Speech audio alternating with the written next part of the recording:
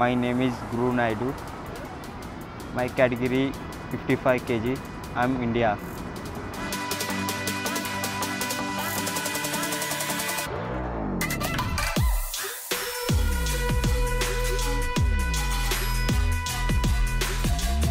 अच्छा से ट्रेनिंग किया था, उसके बाद कोचेस अच्छा है अच्छा ट्रेनिंग देता है coach Vijay Sharma Vijay Sharma sir and India Patiala में ट्रेनिंग करता हूँ नेशनल कोचिंग कैंप में।